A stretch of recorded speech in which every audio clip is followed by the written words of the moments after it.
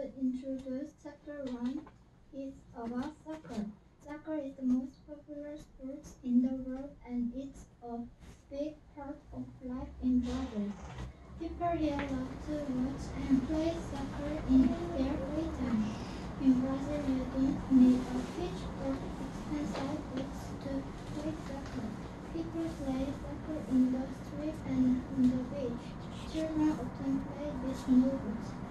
Some people think that Brazilians are good uh, at soccer because they learn special way to play when they are children. They learn to play a type of soccer called futsal. There are five players in each team. The ball is small, but it's full of sand, so it's very heavy. Futsal in South America, but now it's popular in many other countries. Thank.